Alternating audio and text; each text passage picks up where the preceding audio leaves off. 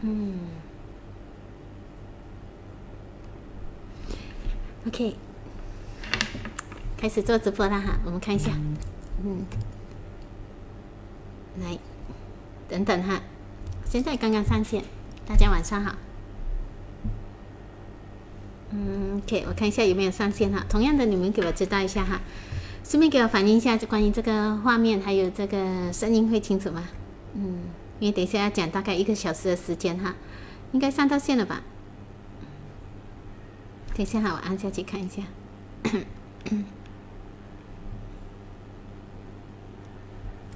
OK 吗？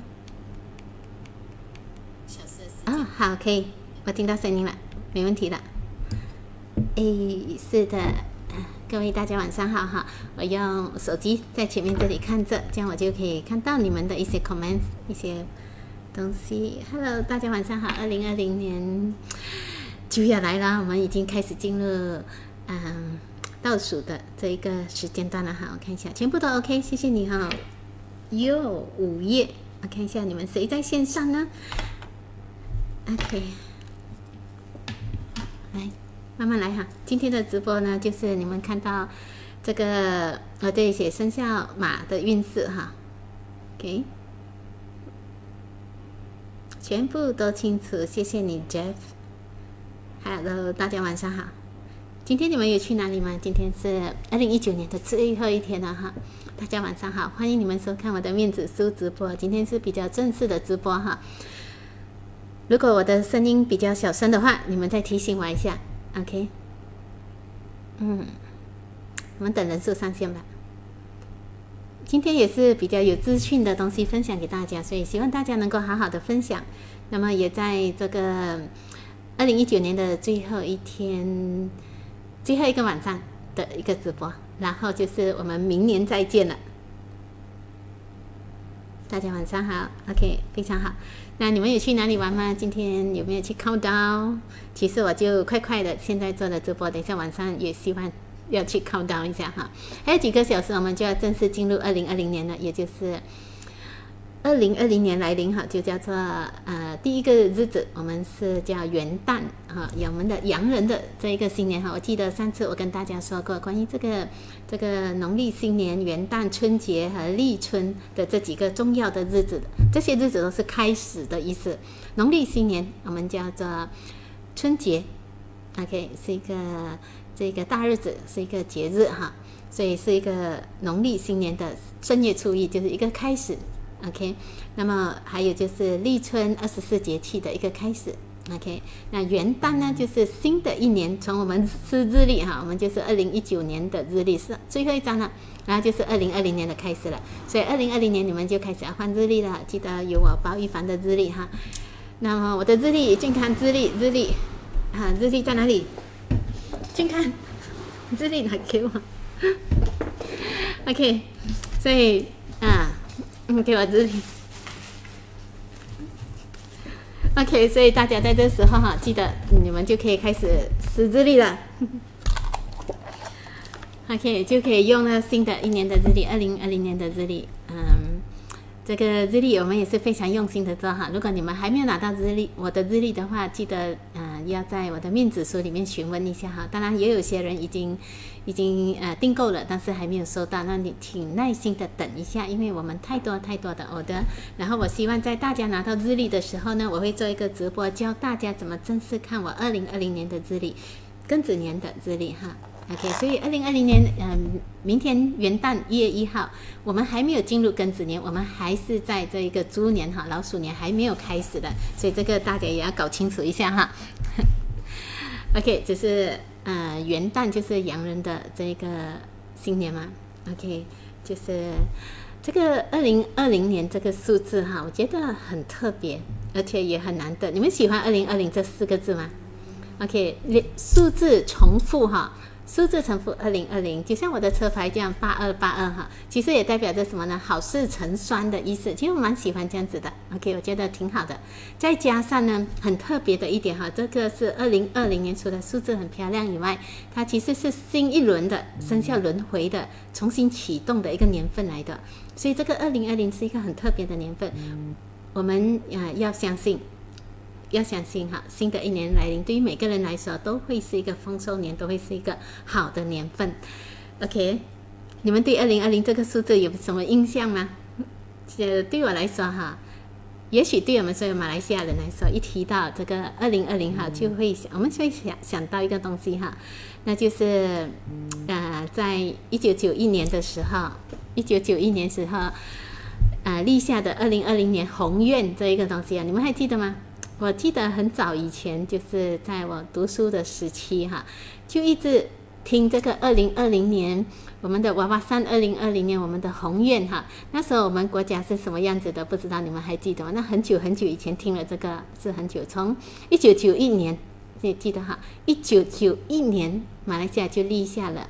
娃娃山二零二零就是二零二零年的宏愿哈，那个时候啊，那个时候还小的时候就一直听这个二零二零年宏愿，可能嗯那时候的想法就是对。这一个数字二零二零数字哈是充满着钻井的，就觉得这个鸿雁是很期待的，一直很一直影响着我们学生每个学生马来西亚的学生哈，我们对未来的一个设想，所以我们读书里面都一直读这个东西啊。然后那时候的印象是觉得马来西亚那时候会迈向这个先进国，在到那个时候二零二零年的时候，我们会让觉得是一个马来西亚吐气扬眉的一个好日子来的。可是到今天哈，到现在。OK，到现在的话呢，呃，距离这个二零二零年就反而这么靠近了。以前是一九多嘛，现在是二零二零，这么靠近，只剩下不到几个小时哈。现在是九点了，剩下几个小时的时间，我们二零二零就到来了。那么二零二零的宏愿呢，实现了吗？我看啊，我的感觉哈，看起来好像是嗯一场梦的感觉。哈，从以前听二零二零到现在，二零二零已经到来了，那个鸿雁实现了吗？你们怎么看这件事情哈？但是我始终我觉得哈，人生始终还是嗯有个梦会比较美吧。虽然我们二零二零年我们很多啊很多那时候定下的一些宏愿啊一些目标还没有实现，但是现在不用担心，我们还有一个叫二零三零年的可以期待一下哈，就是我们新政府又推出了全新的二零三零年共共享啊繁荣愿景，不知道你们对我们马来西亚的这个计划哈有什么看法，或者你们知不知道这些东西哈？其实可能呃。可能很多人对这些没有特别关注，但我会特别关注，尤其是在我读书读大学的时候，读很多时候我们都会特别关注这个二零二零，所以非常非常的期待。OK，现在没关系，二零二零到了，然后很多鸿雁都还没有达到，那就推出了一个二零三零共享红共享繁荣愿景的这个计划哈，我们来看看到时候二零三零又是一个怎么样的期待哈。OK。来，我看一下哈，嗯，你们的一些问题哈。好，其实二零二零年是我们，呃，不要讲鸿雁的话，我们是马来西亚第五次的旅游年，不知道你们知道吗？上一次的旅游年，如果是啊，我记得没记错的话，那大概是在六年前，二零一四年的时候，离现在二零二零的旅游年其实。啊，因为二零二零年我们就开始要进入旅游年嘛，所以也可以说是几个小时。红叶那个我们就不看，我们就看旅游年哈。可是新的这个计划哈，好像很多人还不知道这件事情哈。马来西亚二零二零年是一个旅游年，可能一些电视台呀，或者是一些报纸、杂志等等哈，几乎都没有什么看到太多关于宣传这个二零二零旅游年的这一个宣传。啊，不知道你们有什么看法哈？其实对我来说，这有点让人担心，因为我们很多人其实也不大知道，明年二零二零年开始就是一个旅游年哈。那么我们政府对嗯海内外的这个宣传，我其实也我觉得应该要再加强加强一下哈。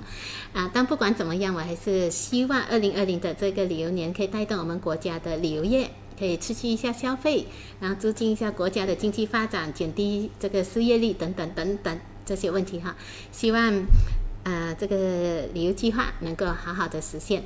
那么还有一另外一个就是二零三零年我们呃计划的这个共享繁荣愿景哈，希望我们马来西亚被列入这个先进国，然后我们要抱有很好的希望、很好的想法、好的开始，然后一起来迈入这个二零二零，然后再期待一下二零三零的到来。OK，好了。那我们也不谈太多关于这个政治的哈，可能你们有什么想法，你们也可以分享一下。今天我们分享的是生肖的东西哈。那么我们来聊聊一下今晚的跨年哈。每一年的跨跨年就是经过一个年份完了到新的一个年份哈，是我觉得是很有气氛的一个时刻了。就是十二点半夜十二点一到来的时候，很多人就开始放这个放这个烟花。啊，鞭炮来庆祝我们又顺利的度过了一年哈，所以不管你是什么种族、什么国界，放烟花的时候呢，我相信大家心情都是很美的。OK，因为放烟花、放鞭炮，其实就是代表着一种信念，我们会把新一年美好的愿景放到天空上面去，希望新的一年自己像烟花一样的灿烂。OK。然后放鞭炮和烟花也像是感觉上像是一个重生、一个新生的象征哈。那上一年不管二零一九年，不管你是否过得风生水起，还是过得有点流年不利，总而言之，不管是好是坏，现在已经进入即将进入新的一年了，我们就不要去多想过去的东西呢，要放下，然后就看前面，朝前面看。我们其实也真的很幸运，可以安全的。健康的、平安的走完这个二零一九年，然后踏入二零二零年，是非常非常的幸运的。可是或许有些人没有这么幸运哈，所以我们就非常感恩。OK，那么呃，现在我们已经不是在进入十二点之前哈，我们觉得我觉得应该要保持一个愉快的心情，利用二零一九年的最后一天去提升自己、改变自己的一些心态哈，放下过去一年不好的事情，我们新的一年就新的开始。OK，保持一个积极正能量的态度。那好的开始永远都是，嗯，对于未来能够是一种祝福来的。所以记得剩下的这几个小时里面，不要发脾气，不要骂人，要开开心心，多说一些祝福的话，这样你的二零二零年才能够带来满满的正能量哈。OK，那这里看到很多人祝我元旦快乐，也祝线上的你们元旦快乐。OK。相信这个时间哈，或许很多人正在准备要出去啊跨年的这个活动哈，但是我觉得我刚好有时间哈，所以在这里跟大家分享一下生肖的运程，OK，嗯。上一次的直播哈，我记得我们讲过十二生肖的运程里面排行第一名，二零二零年排行第一名的生肖，那是属牛的生肖哈。今天呢，我要跟大家讲的呢，就是生肖属马的运势。我每一次就跟大家讲一个生肖，因为我觉得，呃，一个生肖我们花大概一个小时的时间，慢慢的去去谈论，其实是最好的，让大家有时间消化一下，甚至有关于你自己。是，或者是身边的人的是这个生肖的话，你也顺便可以在这个直播里面提出你的疑问哈，发问一下。那我觉得好的直播你们就分享一下，因为因为可能让更多的人可以看到这个视频哈。因为我准备了好久啊，好多东西可以分享给你们。老虎的我还没有说，有人问哈，老虎的还没有说，我们才讲过属牛的生肖，现在就开始进入了啊这个属马的生肖，生肖像马的哈。你们还记得在生肖运势的这个排行榜哈？每一年我都会排一个第一名到最后一名的生肖排行榜。那上一次我跟大家讲的是第一名的生肖是属牛的，那你们还记得吗？第二名的生肖是什么生肖呢？那就是属龙的朋友生肖第二名，属猴子的第三名，属猪的第四名，属羊的第五名，属鸡的第六名，属蛇的第七名，属狗的第八名，然后属老虎的第九名。属老鼠的第十名，属兔子的第十一名，呃，第十二名呢，就是最后一名的，就是属马的。所以今天晚上呢，我在想，上次我跟你们讲过第一名的，大家都应该是啊，好好高兴啊，第一名的。那我们就跳一跳，去到极最极端的，今天就讲最后一名的好不好？啊，属马的朋友哈，所以我就跳来跳去来讲哈。OK，所以属马的朋友，你们要注意听啊！今天的这个生肖的运程哈，我专讲这一个属马的。OK，来我看一下哈，我跑跑跑跑跑跑一下，在哪？嗯，OK，来，来，等一下哈，整理一下，嗯。OK，OK，这样子就比较好了。OK，好，可以吗？慢慢来哈。啊，反正有些人如果没有出去的话，在家的话，得空有时间，你们可以看我的这一个，听我这一个直播哈。嗯，等等哈，属老鼠的，我下一次才讲。很，其他人问好多其他生肖哈，等等哈，我一次过不能够讲这样多，我今天只专挑了生肖像马的朋友的这个运程来讲哈，所以你有马的朋友赶快通知他们。今天我们来讲马的。哦，主页标题我写错了，写成牛哈，抱歉，等一下我会改掉哈。主页标题写错了，但是属马的，属马的哈。OK，那打打太快了，好。那么呃，同样的哈，同样的，我会先和大家聊一聊关于属马人本身的这个性格哈，还有就是关于他不同星座，然后又是属马的人在不同星座上，他会产生一些什么样的化学变化？他的性格到底会变成什么样呢？今天我们也是有参一些，大概讲三四个呃星座和。结合那个生肖来讲哈，当然也有分享到，接下来就是关于生肖属马的这个事业运、财运、感情运，还有健康运，所以你们要认真听哈，对你们是非常有用的。那属马的生肖其实还有就是犯太岁的一个生肖啦。那犯太岁的化解方法，今天晚上也会跟你们讲，OK？所以蛮多东西哈，我预测是大概一个小时的时间。所以你们赶快把电话 charge 满来哈，然后就好好的在这里听一下。OK，那属马的年份哈，如果没有记错，从一九三零年九十岁开始到一九四二五四六六年，然后就是一九七八年，还有九零年到二零零二年都是属马的生肖的。那属马人的一些性格特征哈，属马人的性格其实我觉得他非常的啊热情，然后非常的直率。然后有一点好，有一种好动的野马的感觉哈，个性有时候喜欢张扬，有时候又喜欢啊自由，那喜欢无拘无束的这一个生活啦。那马呢，对于我们来说哈，它其实像动物里面啊像狗一样，其实是非常忠实的伙伴。但马就感觉上比较高贵啊，而且蛮有灵性的一个动物哈。所以属马的人其实也遗传了这一点，就是他的领悟力、灵性非常强。所以他们有很多自己的天赋。那属马的人还有另外一点，就是四肢也很发达，头脑也其实也蛮灵活的一个类型哈。那我们每一次会说，啊，在天看龙，在地看马。所以属马的人其实他的能力是很出众的，做事情总是喜欢一马当先。但有时候让我们觉得哈，属马的人有一点狂妄自大，个性反而有一点固执，总是认为自己是最好的，有点自大的感觉哈。也很少去考虑到别人的意见和观点，所以这是我觉得属马人应该要注意的一点哈。OK，那我们常常说到的是这个呃做牛做马嘛这句话哈，马的人其实跟牛一样，其实非常刻苦耐劳。属马人天生就喜欢就就可以从事一些比较辛苦工作，或者是需要很大耐力的工作，嗯。但属马人和跟属牛人稍微不一样的就是哈马。吃得起苦的同时呢，脑袋里面其实也装很多东西，很多天马行空的点子啊、想法，所以他不会像属牛的人一样比较死板板的，不知道不知道怎么变通。那么属马的人自己本身也自强自立哈，不会安于现状，他们很有一股啊冲劲干劲，所以有时候不肯服输，然后勤劳有上进心，也也蛮有领导能力的。OK，所以通常我会觉得一般属马的人可以。嗯，做这个重要的任务，而且也很受长辈或者上司、上级的这一个器重。但是属马的人还有一点点的不大好的，就是可能他缺乏一些耐心哈，耐心比较没有这么好，然后比较容易急躁，脾气有时候会比较火爆一点。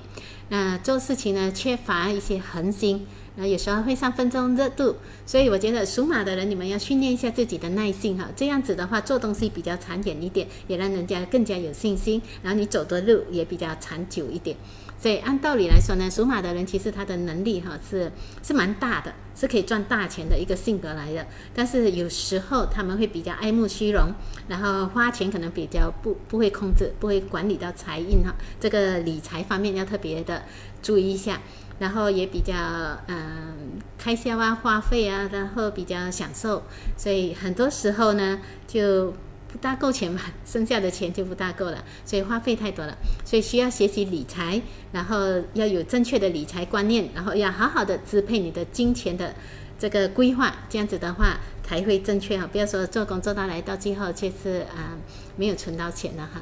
OK，所以属马的人在财运理财规划是非常重要的。OK，嗯。好的，那么简单的来说一些呃属马人的优缺点哈。其实刚才讲了一点性格，在性格上，属马的人性格是比较开朗的、乐观的，然后有点浪漫、有点热情哈。就是四肢也很发达，然后呃思想也很敏捷，啊会讲话，OK，善于呃辩驳，然后独立。自强，办事能力也蛮高的，有果断，有决策力。但缺点呢，就是比较脾气要注意一下，比较火爆一点，然后比较急躁一点，然后有时候性格比较固执一点，坚持的东西就是一直很坚持，然后有点爱慕虚荣，爱花钱，不会理财，然后就是自我中心，很少站在别人的立场去想。那有时候可能讲话太直了，心直口快。然后还有一点呢，我觉得要改进的，就是他不大接受别人的意见以及批评。所以这些就是典型的属马人的性格，所以呃，你觉得好的，那你就保留；那你觉得有问题的，我们就应该要改进，这才是重要的哈。我一我们每一个人每一个生肖，然后每一个每一个星座，其实都有自己的优缺点，只是很多人呃要放大自己的优点。然后你要缩小自己的缺点，所以你一定要做一些改变，这样子人生才有进步。每一年重新反省一下自己到底是什么样，有什么东西需要改变，是有什么东西需要加强，有什么东西需要需要去啊，这这就是改掉它不好的东西，我们都是改掉它，那是最好的。有问题吗？OK，那所以啊，之前我也说过哈，其实我们每一个生肖哈，它也会受一些外在的因素所影响。所以不是每一个生肖的人性格都是一模一样的，没有这样子说的。然后会随着年龄而改变一些思想的哈。那外在因素所影响呢？比如说教育、生长环境，然后慢慢的你受了一些教训哈，你的思想就会慢慢的改变、纠正过来，然后产生了一些变化。所以同一个生肖，可能再加上不同的星座，性格也有可能不一样。所以我就要跟大家再仔细的分享关于这个。这个星座和生肖每次遇到出现的一些矛盾的问题哈，OK，所以刚才讲所讲的跟你们讲的是一些典型的性格，就像我们一个人的骨架哈，或者是我们的一些基本内心的样子，然后外向外面的东西呢，它还有很多其他因素会影响到我们，OK，嗯，我是希望大家能够通过这样子的一个分析，了解到我们先天的一些优缺点，然后。再做一些改变，然后再做一些强化的这方面的东西哈。OK，那生肖呢？我们也有这不同的一个星座。当星座一到一到生肖的时候，它的特点就会变成变成什么样的一些化学作用哈。所以这是一个蛮有意思的东西。所以我跟大家慢慢的分析一下哈，我给大家看一下哈。第一个星座呢，我觉得我今天要讲的是狮子座。上次我们也讲过了，上次我讲了一些哈，我我每次会掺掺着来讲，不要说。啊，讲一样的东西哈，甚至如果你们想要知道自己的星座到底是哪一个会比较特别，想要知道，你们也可以，你们也可以在这个啊这个面子书里面 comment 一下哈，所以我看到了，我就可以慢慢的跟你们讲哈，OK，好的，刚才我们讲，我觉得第一个讲狮子座吧，狮子座在十二星座当中哈，其实是很有权威感的，还有支配能力很强的一个星座，他们的守护星是太阳了。太太阳是充满着阳光，充满自信的，所以狮子座的人就像太阳一样，很朝气，很有朝气。然后为人就是像太阳一样光明磊落的，不拘小节的。同时，狮子座，狮子嘛，狮子座就有一点傲慢自我，然后容易以我为自我为中心点的人，所以他们总是认为自己是对的，呀，也经常忽略别人的想法，所以有一种。王者的风范，这就是狮子座的人。然后再加上属马人的特征，那些更加激烈、更加强烈，他的个性更加突，结合之下，个性更加的、更加的呃、更加的强烈的展现出来。所以，当狮子座又是属马的人呢，他们非常的勇敢、积极，头脑很灵活，反应很迅速，啊，执行力和动手能力也很强，还有就是很自信，不服输。所以他们认定了一个目标，就会全力以赴的去追求，所以不会害怕困难和阻碍。所以这样的性格注定了属马的，然后又是狮子座的，我觉得他们很可能会出人头地哈。所以都是嗯英雄英雄的一组的那种组合，所以是蛮有英雄主义的。而且他们善恶分明，乐于助人，常常替别人打抱不平，又有足够的能力和威望。所以如果呃身身边人对他们呢，其实对这样子的星座的人，然后又是狮子座狮子座的人，然后又是属马的，会产生一些依赖，因为呃他们很强。所以我们会去依赖他们，而他们本身呢也非常享受别人对他们的称赞还有崇拜，所以像明星一样的待遇哈，呃，感到非常的满足。他们有他们自己的一个虚荣心，不知道身边的你哈有没有一这样子的一个朋友呢？属马的，然后又是狮子座的，OK。所以这一这一类人哈，他们的优点非常明显，缺点也比较少一点，因为太过自信哈。啊，唯一的缺点呢就是太过自信也变成了自负。所以要不要太盲目的相信自己，或者太高估自己的能力啊？那很多时候呢，我会觉得属马人应该要虚心的，或心平气和地去去接受别人的劝告以及批评。OK，建议狮子座的属马人偶尔听一下别人不同角度的观点，所以哪怕不认同对方哈，也不要急着去反驳他人。听多了，也许会对你有更好的啊这个用处。OK。所以这个就是狮子座属马的。接接下来我们看一下下一个星座哈，很多人讲要水瓶座，呃，就水瓶座，我记得上一次我说过了哈。现在我们再讲下一个星座呢，那是金牛座吧？金牛座，金牛座这个座星星星座也是蛮特别的一个星座哈。金牛座有没有线上的你们有没有金牛座的？OK，金牛座又属马的有没有？看一下哈。等一下讲完金牛座，再想你们要的星座哈。看到有人讲的这一个东西哈，我们慢慢讲。那很多人对金牛座的印象呢，就是觉得金牛座的人反应比较迟钝一点，然后嗯，不是说迟钝，反应比较慢一点，他们比较 slow 的，然后话比较少啊。那但这样子的性格的话，并不代表着金牛座的人就是没有想法。或者没有思想的，事实上，金牛座的人是很有思想，而且很有内涵的。只是他们呢，就不大喜欢跟别人去争辩。那么，也可能是因为比较害羞，所以比较少开口。所以，金牛座的人非常务实，哈，脚踏实地，认真做事，然后有一点点低调，也有一点点的不自信。那他们内心里面其实也希望能够一鸣惊人，有很好的表现。但是就缺乏了一点自信哈，而且一般上他们也具有具有这个能力，但就是缺少一个推动力，让他们再努力向前一步。这就是金牛座的人的一个性格上。那刚好勇敢自信哈，但没耐性的属马人碰上这个有一点自卑但刻苦耐劳的金牛座，在性格和优点上是互补的，我觉得是蛮好的，就可以互补。OK，所以金牛座的属马人具有敏锐的这个思想，他就会变成这样子哈，有很好的洞察力。同时呢，在工作上、学业上或其他方面呢，反而非常负责任。他为人就变得他的性格，他就出来的就比较强烈一点。所以金牛座属马人愿意把时间和精力花在创新上做东西，然后他们很愿意吸收新的知识，他们也有独立的思考能力。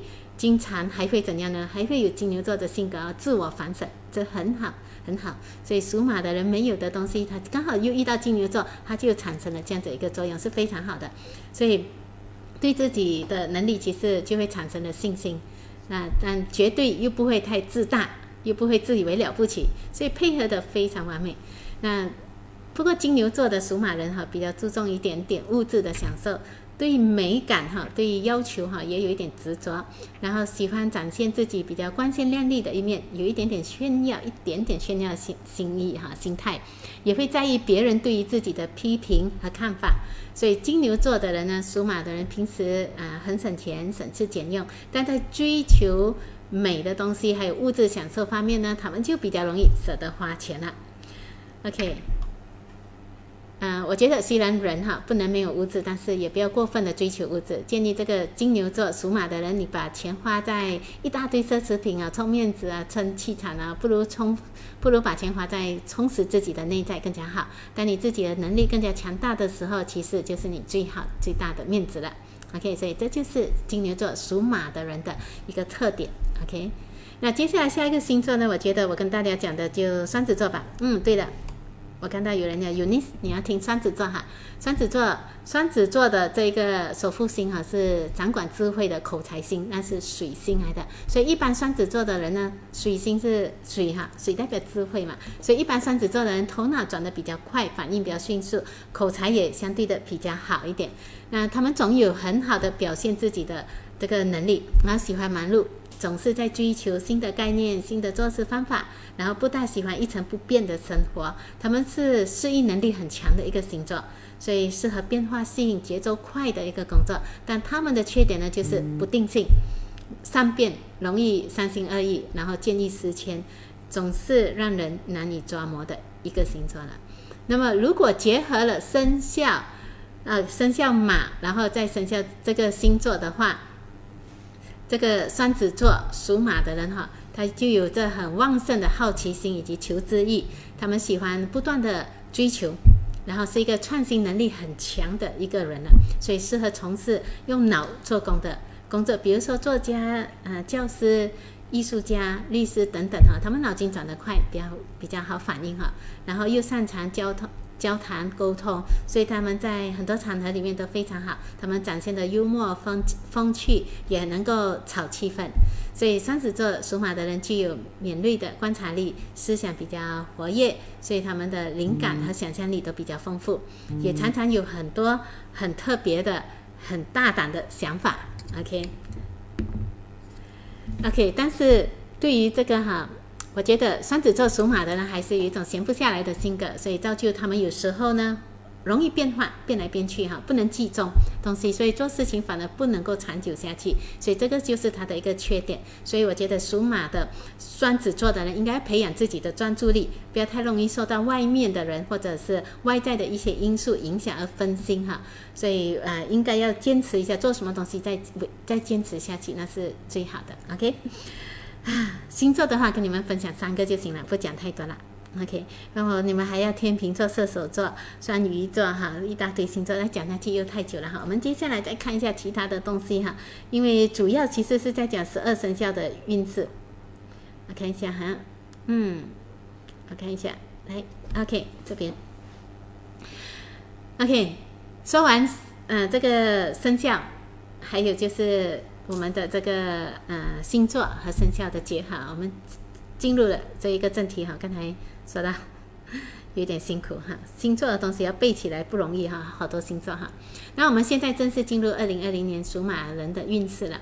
那刚才跟大家讲属马的运势，在这一年里面排名最后一最后一个生最后一名的生肖哈。那我们看看一下吉星凶星有什么？你看一下我这个图图案里面哈，在吉星里面呢是没有吉星，看到吗？凶星呢，就有衰破，有大号，有天库，有灾煞，就四颗凶星，没有吉星哈，所以排名最后。进入二零二零年庚子老鼠年哈，对于属马的人来说，鼠年所以啊是带有一点点凶哈，因为子午正冲。冲犯太岁，我们冲太岁就代表着流年可能没有这么顺利。你跟太岁流年太岁相冲，基本上就没有这么好。但是我们的在评论十二生肖运势的时候，我们通常都会以太岁为做标准。那谁顺着太岁，谁跟太岁相合呢？就像呃，就像属牛的朋友，他就跟太岁合太岁嘛，自然就会运势比较好。但相冲的，自然就会运势比较。不大好了，所以这样子的话，在整年里面呢，我们要注意的东西就反而更多了。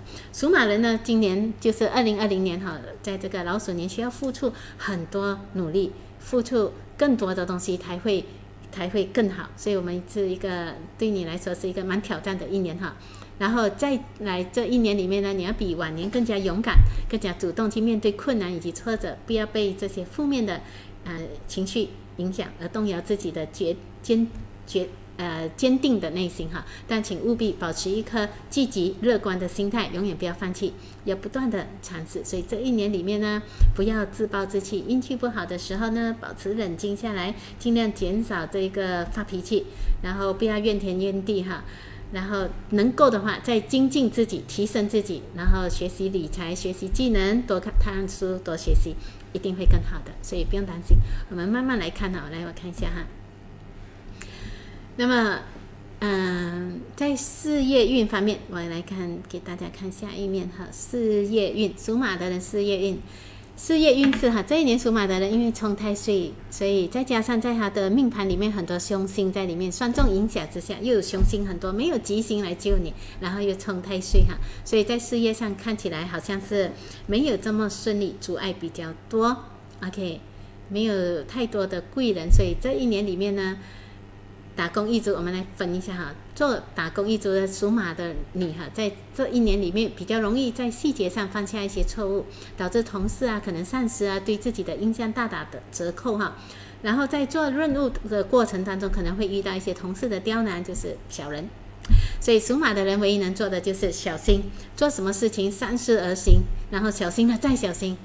那交到字交到手上的工作，一定要仔细的检查几遍。不要做的太快，不要呃做什么东西就很忽略的就翻了就看过去哈，能够的话翻多几面看多一点，尤其是有文件合同上的东西，你们要特别的注意。然后今年呢，在这个二零二零年比较多小人哈，所以可能也会被人陷害的这种状况之下，所以到时候变成你你很多委屈，你解释也讲不清了。所以在这个时候做什么东西都应该要小心，尤其在工作上。比较容易犯错的一年，所以二零二零年进在这里看我们的事业运哈，可能没有这么好，所以尽量不要换工作。最近我算命哈，每次很多人来到都会跟我说，哎，新的一年我会问你有什么打算呢？他第一句话我要换工，我要跳槽，我要什么之类哈。那你运势不好的生肖，通常我鼓励不要换工作。只有在你运势属于比较旺的生肖，在你这年这年里面的运气很好，那你才换工作。这样子的话，你会越换越好。但是如果你是属于运势比较差，事业运也不好的话，那你换工作等于一个陷阱里面爬上来，又掉入另外一个陷阱了。所以它反而越换越不好。所以宁愿呢，我希我的建议是你宁愿留在熟悉的工作环境里面，OK，好过在不熟悉的地方遇到运气不好，那那反而更糟糕哈，下降的更快。的这个可能性也是有的。OK，对于穿越穿越人士哈，这就是有自己做生意的人士，在二零二零年其实也不会有太大的一个成就或太大的一个改变，所以可能会出现一个状况就是。多劳少得的一个局面哈，所以在这一年里面，二零二零年你比较会遇到问题。那遇到问题的时候，记得属马的人你不要太急躁，放宽心，不要突然之间就发大脾气哈。所以什么事情我们一定要冷静下来，因为在这一年里面，你有一颗凶星，我们叫做天库。天库是一是一颗晦气星，是一颗。比较倒霉的星刚好进入到你的命宫里面，代表在这一年里面，你比较容易，呃，因为一些事情而破坏了人际关系。人际关系也包括了破坏了贵人运，OK，然后加强了小人运，增加了更多小人运。在这种状况之下，对你做生意的人当然有不小的影响。然后，嗯，我会觉得工程上，你只要遇到问题，一定要冷静下来去处理。OK，所以二零二零年不是一个你可以大展拳脚的一个年份哈，所以不建议你再把事业扩大。我们守业其实也是不错的，在运气不好的时候，不要急着去扩大，啊，反而扩大不是一件好事。所以只要你尽力去做，保持保持原本的东西，把原本的东西做好，来灵活的应对工作上的困难，在一年里面你还是可以有突破的哈。唉。不要让不好的事情动摇你的信心和决心哈。像我前面所说的，你一定要努力的充实自己，然后增强自己的知识，增强自己的技能，提升自己的实力才是最重要的。坚毅属马的人，当你觉得很累或者压力很大的时候，可以多和你身边的朋友或者跟你另外一半。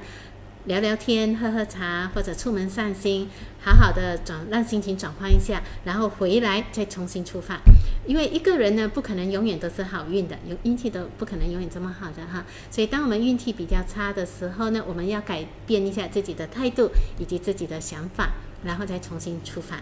OK，所以这就是属马人的事业运，所以注意你们会遇到的这个问题，不管是打工的或者是创业的，都可能遇到一些问题，然后慢慢的处理。记得小人比较多，贵人比较少，所以做什么东西人际关系还是非常重要的。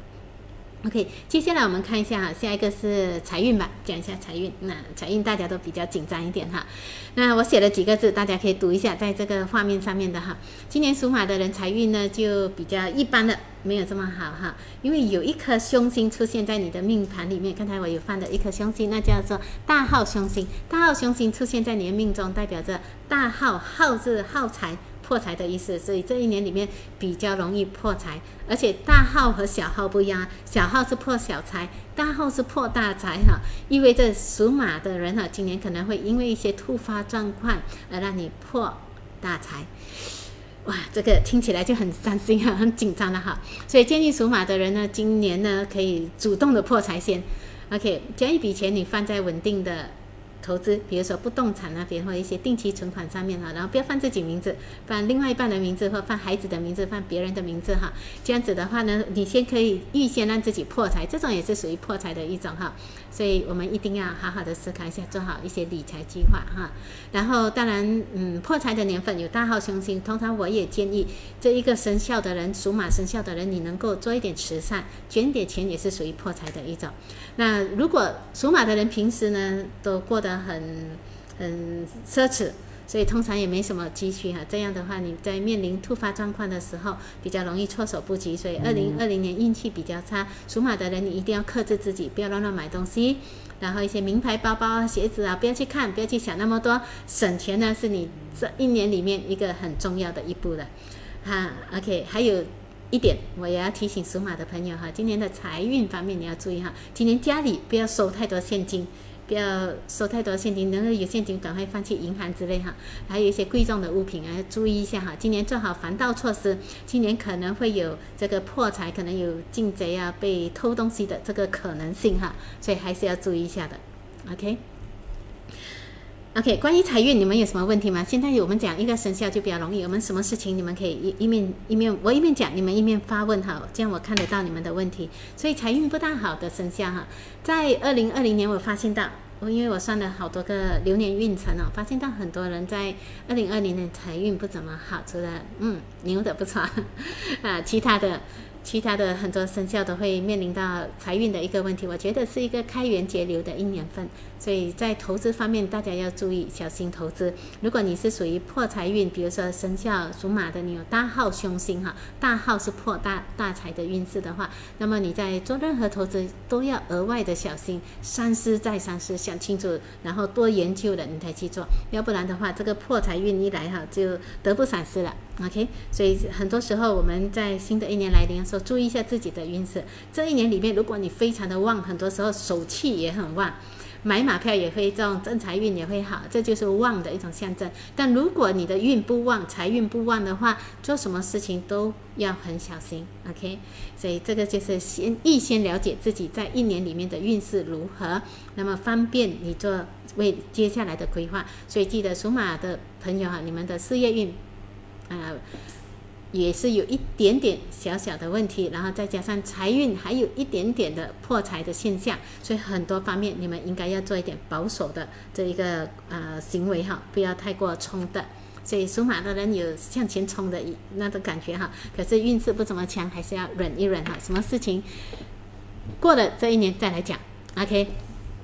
接下来呢，我们就看一下哈，你们有问题吗？我可能讲的太快哈，没有看到你们的问题。健康方面呢，还有其他方面，我们等等哈，慢慢来讲。OK，接下来我们就看下一个是感情运吧。OK，我们来看感情运势哈。感情运势在属马的人感情方面，在这一年里面哈，他他很多凶星，还有四个凶星，还有一个凶星叫做灾煞的，灾煞的这个凶星刚好在你的命盘命宫里面，代表在感情运呢带来一些。比较不大好的运势哈，而且今年冲太岁，今年流年你又冲太岁，跟太岁相冲，所以意味着在感情里面也有很多变化。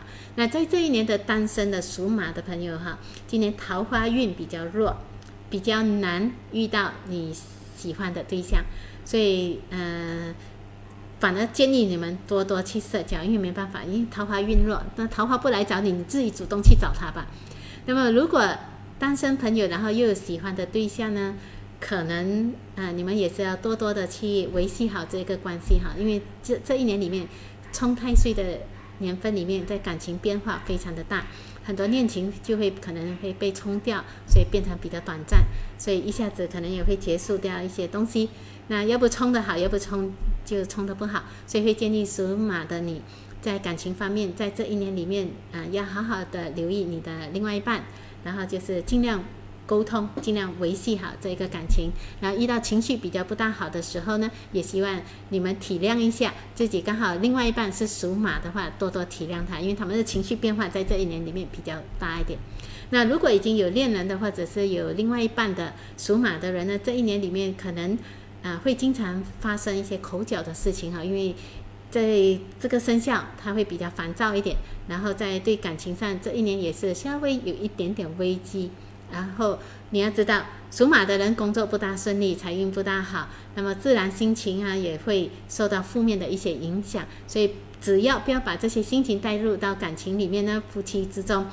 多多的沟通呢，我觉得，嗯，对你另外一半多一点包容和理解哈，尽量避免冷战，呃，尽量不要有激烈的争吵，然后这这一年里面可能还有小人横行哈，破坏到你们两个人的感情，所以各个方面的可能性会发生，所以属马的人呢，你们一定要定下心来，遇到感情上的问题，不要急着第一个时间发作，什么事情冷静处理，三思而行才是最为上策的，OK，所以好好的。跟另外一半沟通，在这一年里面，OK。如果刚好你的另外一半是属马的，你也要多多的体谅他们，因为他们犯太岁，他们心情不好，所以另外一半应该要多多的体谅，OK。来，接下来我们看一下，你们有什么问题吗？嗯，OK。讲完了这个属马的感情，我们接下来刚才有人问的哈，健康，健康也是蛮重要的，我觉得要有一个健康的身体哈，在这个运气才会好。那二零二零年冲太岁的时候呢，当然我们这个生肖，这个生肖属马的受到不少凶星的拖累哈，健康运势也并不怎么好。它里面有一颗凶星叫天库，天库意味着属马的人容易心情不好，然后又有灾煞，又有大大耗。所以大号也可能也代表着破财，破财就可能生大病啊，破财之类。所以今年属马的人身体状况可能会比较多一点点这些病痛，导致你们容易破财。所以要注意做好这个准备，然后在身体方面你们要多多的早睡早起，注意身体健康，然后就是吃的营养一点，然后不要因为工作上的压力而导致自己失眠啊等等状况发生，而导致影响到最后就是健康了。所以属马的人，你要学习哈，在工作上学习啊放松。然后适当的休息，注意饮食，好好调理好自己的身体。然后心情压力、心理压力太大的话，找个朋友倾诉，找一下发泄的方法，找一下减压的方法，或者多出去旅行，转换一下自己的心情。然后遇到什么事情，跟自己的另外一半分享。然后我们能够疏解掉心理上郁闷的东西，当全部东西疏解掉，你的健康自然也会比较好的。OK。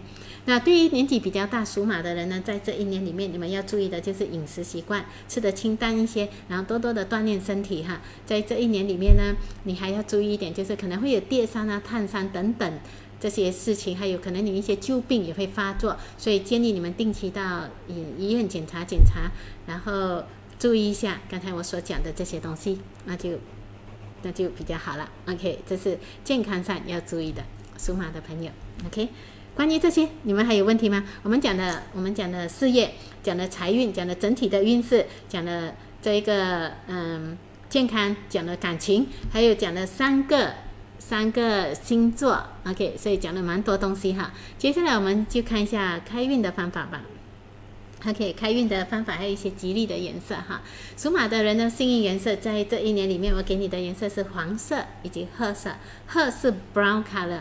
黄色以及褐色颜色没有那么鲜艳，就是这种颜色哈。属马的人可以多在生活上，你可以多选择用这几种颜色，比如说衣服啊、鞋子啊，比较经常接触的物品等等，它对你开运都是有着一定的好处的。那最重要的是这些颜色散发出来磁场的物品哈，有有带有这些磁场的物品。都是有意思的，比如说水晶啊，或者一些风水物品，所以选择自己有利的这些颜色，对你提升运势都是比较重要的。OK，所以属马的朋友哈，当我们运气不好的时候，我觉得，嗯，我我们因为属马的性格，刚才我们讲过了哈，所以他应该要反省自己哪里有不足，然后有什么不好，然后在后天再加倍努力去改变。所以我觉得，嗯，不要担心去面对。过程中遇到的任何考验，在这一年里面，只要你肯付出去改变呢，只要我觉得放手一搏哈，幸运之神始终还是会站在你这边的，所以不要太担心，OK。那那么在开运产品啊，当然我们知道了整整体的运势过后，我们会选择一些东西来提升自己的能量，让自己觉得更有信心，然后让自己在新的一年里面摆脱掉这个犯太岁的问题，然后让自己提升运势。开运的东西比较简单，带在身上的，因为。因为生肖嘛，人嘛，都是跟着你的东西哈，带在你身上的东西，通常我会建议水晶。为什么呢？水晶有磁场，有能量，有磁场能量的东西，对每个人开运都是有着很好的效果的。那在生肖肖啊马的这位朋友哈，有几样东西你要注意哈：开启智慧的水晶，开启财源财运的水晶，还有贵人运的水晶，还有健康运的水晶。刚才我讲的这四大水四大我们的问题哈，那。我的建议给大家提议的哈，金钥匙这个水晶，金钥匙就是开启智慧的一个水晶。对于属马的人，这一年里面，如果你觉得你要增加你的智慧，增加你的领导魅力，然后创意工作者哈，或者是用脑过度的人，还有就是嗯，改善你的睡眠。如果你睡眠素质不好的话，你可以考虑用金钥匙这个水晶，佩戴金钥匙水晶。但是如果你想要增加财运的话，黄水晶是非常适合你的。黄水晶是一颗财富的水晶，那黄光、黄色水晶发出一个黄色的光芒，哈，会影响到我们的财运。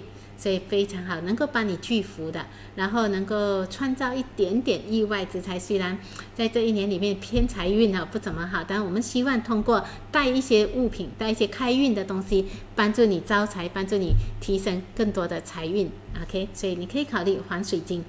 如果你想要增加吸引贵人的话，增加贵人运，想要减少这个小人的话，你可以带这个虎眼石，也是蛮不错的。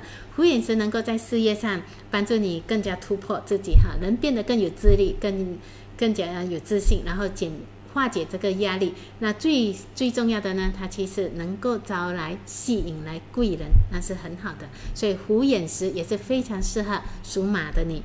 那么至于在健康方面，如果你觉得你健康想要提升的话，那你可以选择这一个黑黑曜石哈，黑碧玺，黑碧玺。手链哈，黑碧玺水晶，它其实能够帮助我们呃排除这个生病，然后减缓失眠的问题。对于我们还可以什么呢？还可以挡煞，还可以辟邪，还可以把负能量给消耗掉。所以黑碧玺对你也是很好的，OK。所以这个就是对你有利的四种水晶了，嗯，看到吧？所以你们要自己去选择，选择天然的，选择啊。不要拿假的东西，因为假的东西有一点化学成分在里面哈，所以我们拿天然的东西带在身上，每一年都有自己属于自己的一个开运的、提升运势的一些物品哈。那在这里呢，我就把它全部都结合，我设计了一个哈，自己设计出来的，所以把四个、四个哈，就是。开启智慧的水晶，还有聚财的水晶，吸引贵人的水晶，还有提升健康的四种水晶：金曜石、黄水晶、虎眼石、黑碧玺结合在一起，然后再结合一条白水晶，就增加能量，还有增加正能量的，全部把全部功效带在一起的这个手链哈。这样子的话，如果你一个生肖又要全部东西的话，考虑这个样子吧，哈，因为这样子戴其实也蛮有效的。OK，所以嗯，这个就是属马的。在我介绍给大家的一个流年开运的水晶，OK，你们会喜欢水晶吗？对水晶有研究吗？我介绍了好多年这一个水晶哈，因为因为我觉得每一个生肖最旺的生肖，你也要借助水晶在帮你加强一些能量。那生肖不大好的运势比较差的，同样的水晶能够帮你转换一些负能量的东西，然后再帮你提升运势，明白吗？OK，接下来讲一个东西比较特别，就关于到犯太岁的东西哈。因为我记得，嗯，刚才我在前面有讲到，讲到犯太岁的哈。来，我看一下哈。啊，犯太岁的生肖在这边给你们看看一下，犯太岁的生肖。OK，啊，这样子。刚刚前面说到的，二零二零年属马的朋友是流年什么呢？冲太岁哈，冲太岁是犯太岁的一种。每个人有时候有些误解哈，搞不清楚什么是犯太岁。犯太岁呢，其实就是有冒犯到太岁的生肖叫犯太岁。不管你是冲啊、害啊、破啊什么，我们统一称为犯太岁的这一个生肖哈。那犯太岁的生肖呢，就是嗯，OK，刚画面上所显示的哈，就是有几个生肖是犯太岁的。值太岁的本命年的生肖就是当然是老鼠啦，鼠年就是老鼠。然后现在的马就是冲太岁的，跟太岁相冲的。还有个兔子刑太岁，还有个鸡呢是破太岁，还有个羊呢是害太岁。所以五大生肖都是犯太岁的。所以现在的你们注意啊，如果你有这五大生肖，接下来你要注意听一下哈，因为我我我会接下来教大家化解太犯太岁带来的这个煞气的这一个方法。OK。所以这五个生肖都有关系哈，五大生肖。那 OK 清楚哈，啊，那在这五大生肖里面呢，当然冲太岁是比较严重，因为冲嘛，冲就有对冲，有一种冒犯太岁的那种感觉哈。所以属马的朋友在为什么流年里面排名你们最后一名，就是因为你流年跟太岁相冲。太岁相冲的话，可能发生一些破财的事情，一些灾祸，或者是一些啊意外，可能也有血光之灾等等的，所以这东西要特别小心。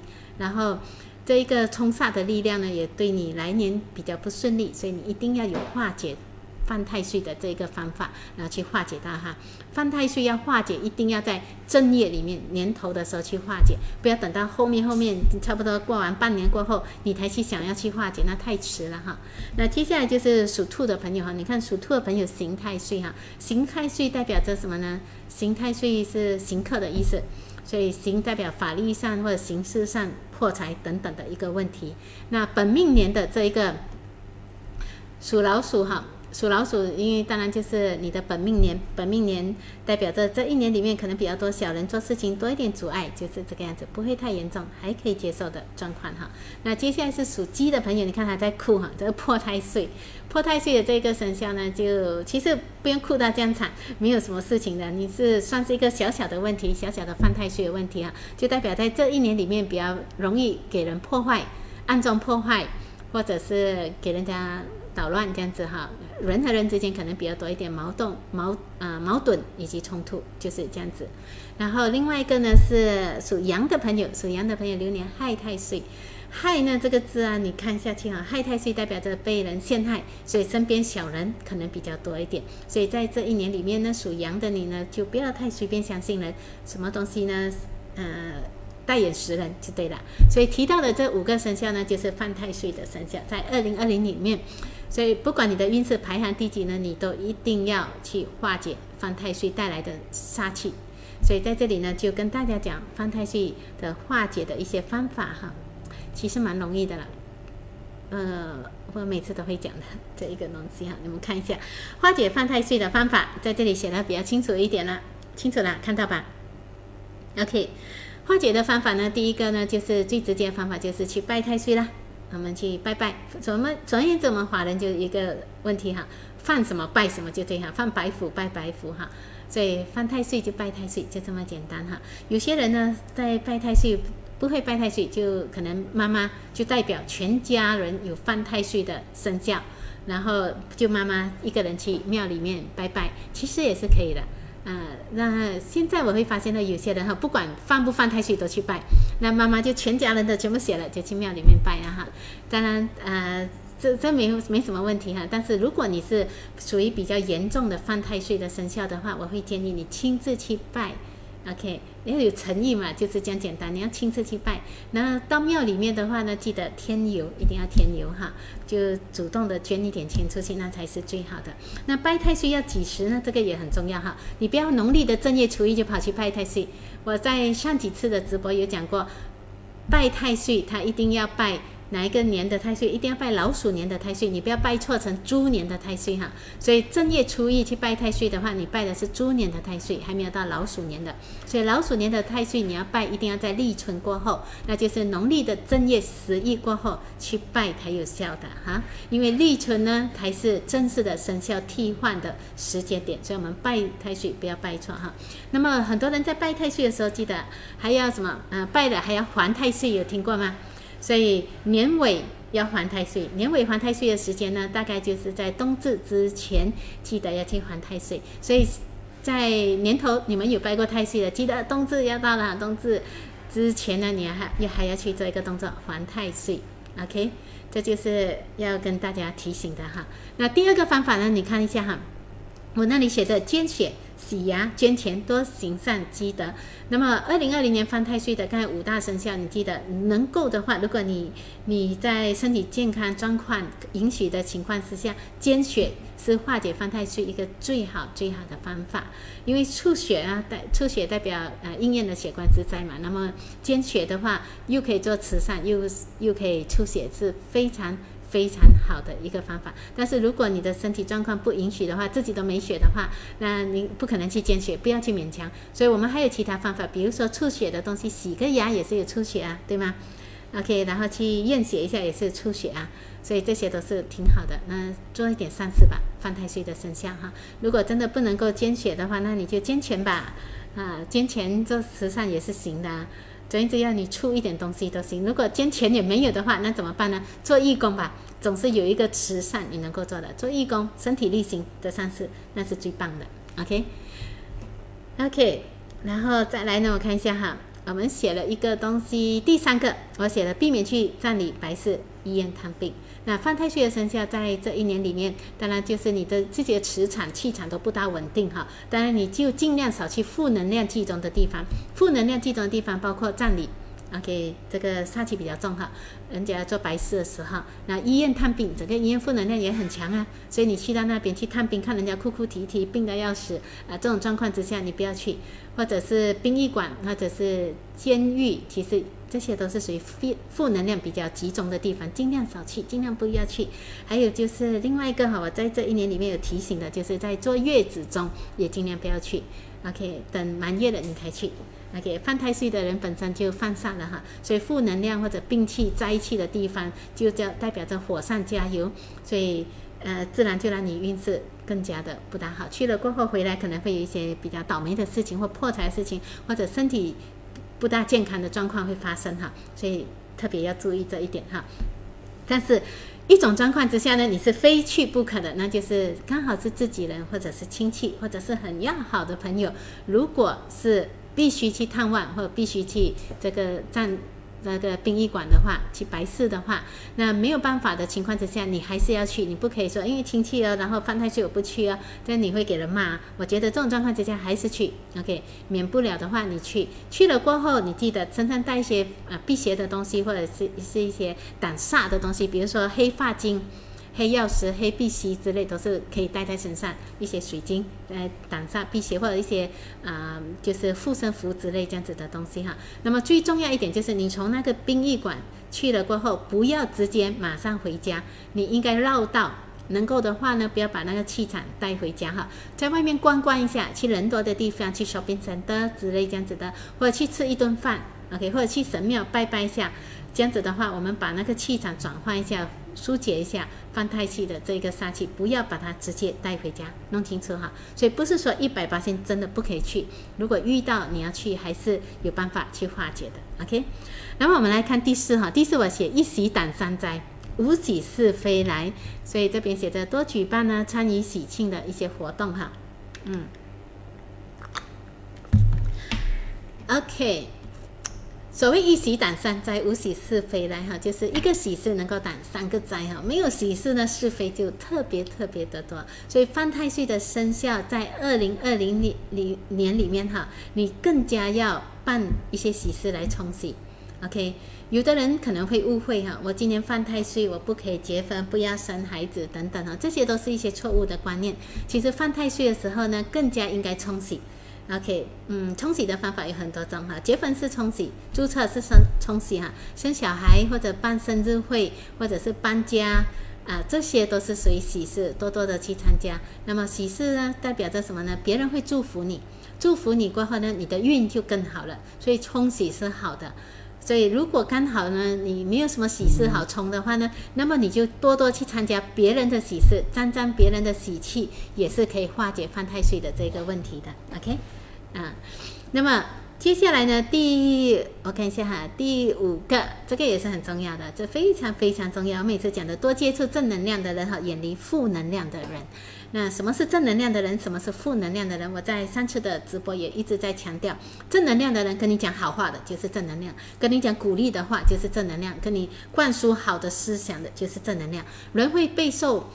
自己影响，也会被身边的人影响，所以它会传染，你明白吗？所以你接触的正能量的人多了，你自然就被传染到正能量的东西，你运气自然也会好。但是如果你跟负能量的人多了，一直听不好的东西，就是一直呃说什么谁不好，跟你 complain 谁，跟你说老板不好，工人不好，谁。啊，有什么问题等等哈，然后对未来没希望、没前途、不进取，然后只会一直埋怨的人，这些就是负能量的人。很简单，现在的人，我告诉你，每一个人都很厉害，都很聪明，你自己可以区分什么是正能量的人，什么是负能量的人，自己去区分。在网络世界也是一样哈，很多正能量的信息，也有很多负能量的信息，你们自己去接收，接收到好的呢，自然就会影响到你更好，因为。我们会被影响到，接受到不好的呢，你就会被传染到了。那整年里面的运势怎么可能会好？所以在选择上是非常重要的。那么接下来呢，第六个哈，我们来看一下开运。那么化解方法，犯太岁化解方法，其中一个我觉得很有效的，也是开运、转运或者补运这些东西，你可以在神庙也有一些方法去做哈。但在我这里呢，我会比较鼓励和推荐大家用这个立春开运法来转运。来开运，这非常的好的。在上一期直播里面，我就专门做了一个直播，讲解立春开运的方法和重要性。如果你们要知道的话，可以看回去之前的直播，我在这里就没有讲，要不然我讲到来就很长了哈。再次提醒大家，二零二零年的立春是在是在二月四号，农历正月十一下午五点，傍晚五点零三分才正式到来。所以这一刻呢，就是我们要开运、转运、补运的。最佳时间点，所以大家一定要好好珍惜这一年一次唯一的一个时间段。这个时候呢，宇宙能量磁场产生变化，磁场正在正在产生变化哈。这个很强能量的磁场开始，所以阳气慢慢的升起，阴气慢慢的消跌不见掉，所以运势我们自然能够在这个这个重要的时刻来接收能量。接收能量就是代表着我们的重新启动我们的磁场气场，所以当一个人的磁场改变了，运气也就改变了，所以这非常重要。所以立春开运呢，这一个东西，我每一次在提醒大家，尤其在二月四号之前，我都会一一一路不断的提醒大家，让你们记得在这一天里面做开运哈，不要错过了一年只有一次的开运的方法。OK，所以放太岁的生肖。你们可以做的呢，其实就是这几个方法。那除了这个以外呢，我们身上也能够带一些东西来帮你化解。比如说，你可以带一些平安扣。你看到我图片里面放的这些都是叫平安扣，看到它圆圆的那一粒吗？那个叫平安扣哈。或者带一些转运扣，能够帮助你提升运势、化解犯太岁的这一些问题哈。所以我这里有建议两种平安扣和一种转运扣给你们，看得清楚吗？可以哈，嗯。所以这些都是对你们很有帮助的，OK，对你们很有帮助的，OK，平安扣、转运扣，OK，可以吗？嗯，好的，那可以，等一下哈，我来看下一面，OK，接下来呢？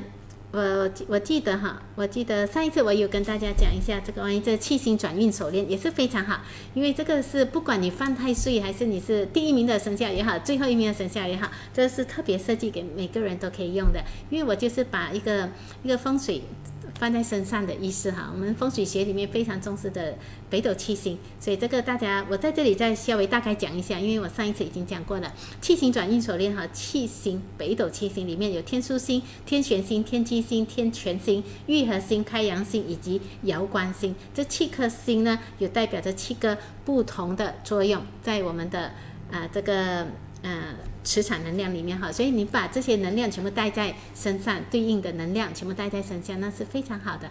因为呃，天枢星是一个一个掌管的爱情感情的一颗星哈，然后第二颗星呢是天玄星，是一颗正义之星，我在图里面有写着了哈。然后第三颗星是天机星，是名利之星，要财路是跟我们的事业财运有很大关系的。然后第四颗星是天权星，是一颗智慧之星。争取开启你的智慧，然后玉和星呢是一颗财气之星哈，所以创造力，然后让你更加积极进步的一颗星来的。那北斗的第六颗星呢，就开阳星，开阳星是增加我们的力量的一颗星，让你更加能够刻苦耐劳，遇到问题我们都能够度过的。然后最后一颗星呢，北斗七星第七颗星叫遥观星，遥观星这个名字我很喜欢，所以我最喜欢的就是遥观星，它是一颗勇气之星，让人家变得勇敢。然后承担起责任，然后分辨善恶，这是一颗非常好的心。然后把这七颗心串在一个手链里面，就变七星转运手链，对每个人都非常好。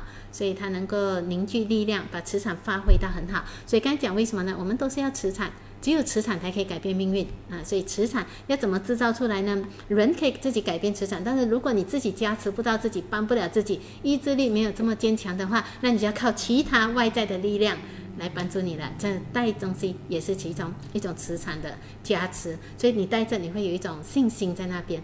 除了气星转运手链呢，其实我上次也有介绍过一个四神。嗯，这个名字好难读，四神兽巨灵纳福手链，这个取名字的好，每一次我读这个我就要想这取名字的，怎么取的这么长？四神兽巨灵纳福手链哈，这非常非常棒的，也是。当初设计这个手链呢，其实就是要把好的风水带在我们的身上，让每一个人都能够把风水带在身上。所以我延续了这个五千年老祖宗传下来最重要的根本风水的一个概念，然后结合了水晶的这一个能量，让大家都能够把它戴在手上。所以四神四神兽 四神兽巨灵那福手链哈 的一个组合，非常特别的。它其实就是代表着左青龙右白虎，前面朱雀，后面玄玄武，就是我们风水学里面的青龙白虎。OK，青龙当然就是代表着事业运、财运、人缘很好的；白虎呢，也是代表着人缘，然后反小人，挺好的。然后朱雀呢，代表着喜乐安康。平衡、消除压力、消除负能量。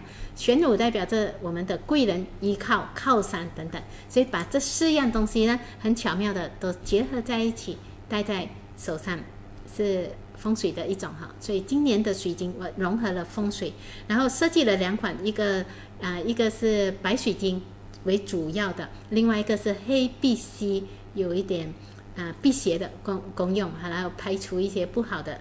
负能量的，啊，所以这两种都是特别设计出来的，OK，好。接下来呢，就是要跟大家讲这个轩辕乾隆带哈，这个也是每年啊，这是今年我设计出来非常非常棒的一个东西哈。上两个星期呢，我已经介绍过，今年在今天在这里大略大略的讲一下，不讲的太久，因为我相信大家也听过了。轩辕乾隆带，所以每个人开运不能够缺少的一个物品来的，带在身上，放在钱包里面都非常好。轩辕乾隆这两个名字哈，单单听名字你就觉得很了不起了。轩辕皇帝、乾隆皇帝哈，两位远古帝王都在这个袋子里面。龙袋里面，所以里面就有一张红纸，应该有我们中华第一共主，就轩辕皇帝的红纸印印章的红纸哈。然后这个红纸里面再包这个乾隆古币，然后这个我们就叫内有乾坤哈，然后放进金黄色的钱袋子里面，所以非常非常棒的一个组合。那钱袋在古人来说呢，我们就叫做钱包。啊，古代叫钱袋嘛，现在怎么叫钱包？所以自然就有招财旺财的作这个作用哈。所以非常鼓励每个人的钱包里面，或者放在你的考的，或者是放在你的呃这个保险箱里面，其实都能够带来增加财运的这个作用。所以很多地方都可以放，你的办公室也可以带，随身携带也可以。但是记得一定要选个日子，然后才可以带在身上。所以是非常棒的一个。开运产品来的，希望大家都拥有属于你自己最少一个龙带，一个人可以不止一个龙带的，啊，是不是很棒？所以我觉得好的东西一定要跟大家分享，然后教育大家认识自己的生肖，然后就是开运转运的方法。OK，这就是我今天晚上要讲的直播的主要内容。所以今天晚上我们聊到的属马人的个性是什么样的，结合星座又会有什么样的不同？然后还有就是，呃，二零二零年属马人的各个方面的运势哈，还有刚才也跟大家分享了这个关于几个化解犯太岁的煞气的这个方法，然后还有一个几款。帮助大家设计给大家就是水晶，然后帮助大家开运的一些水晶，还有就是一些把一些风水带在身上的方法，希望大家能够借助这些力量，能能够让大家在来临新的一年能够有好的运势，然后把好的风水带在身上。所以呃，记住我说的话，有时候运气哈不是由上天决定的，我们的心态也是很重要的，我们能够掌控自己的命运。哈，一口气讲了这么多哈，今天晚上的直播差不多了，现在十点的时间，那么嗯，一讲了一个小时了哈，现在因为今天晚上是元旦，再过几个小时，十点、十一、十二啊，两个小时要到了哈，一个小时多不到两个小时的时间，我们就要进入二零二零年的新的一年就要开始了。那么二零一九年最后一天呢，我希望大家都能够把过去不好的东西给忘掉，然后重新开始。二零二零年将会是美好的一年，我们有愿景，有宏愿的哈。OK，好，就讲到这里了。那么。嗯，祝大家元旦快乐，二零二零年快乐！我也要准备去 countdown 了，我们就明年再见啦！明年我们在线上再见。好，今天的直播就讲到这里啦，OK，拜拜。等等哈，OK，就是这样子啦，OK，拜拜，二零二零年见，拜拜。